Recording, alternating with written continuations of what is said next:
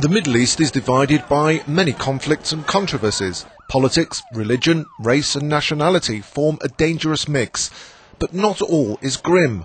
One subject remains beyond dispute food. Middle Eastern food, and lots of it. It doesn't matter whether you're a Middle Eastern Muslim, Christian, or Jew. When it comes to falafel, shawarma, or burekas, you're probably hooked. In order to learn more, we decided to visit two of the most renowned eateries in Israel and the Palestinian Authority. Our first stop was at Afteem's Falafel. Established in 1952, this falafel restaurant claims to be the oldest in Bethlehem. Palestinians from all over the West Bank come here to enjoy these deep fried chickpea balls known as falafel. The Church of the Nativity, said to be the spot where Jesus was born, lies just 200 yards away, and so Afteem's is also popular with pilgrims.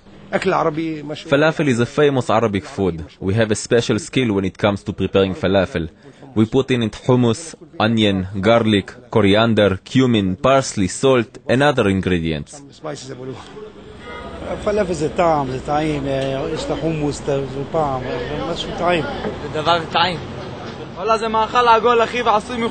It's very very yummy. J'aime le falafel. It's all. Now over to Jaffa on Israel's Mediterranean coast, just south of Tel Aviv. Abulafia is famous for its filled puff pastry burekas and other flowery delicacies.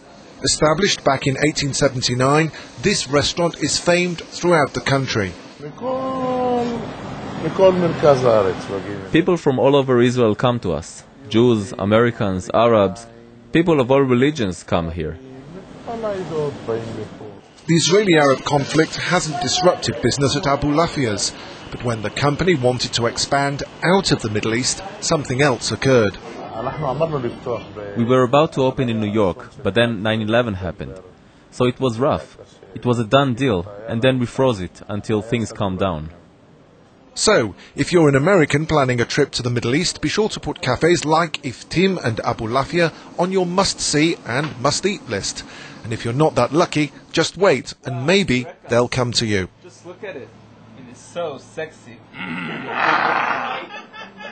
בבקשה, ביחד. רוצה שתחזיק ביד את זה.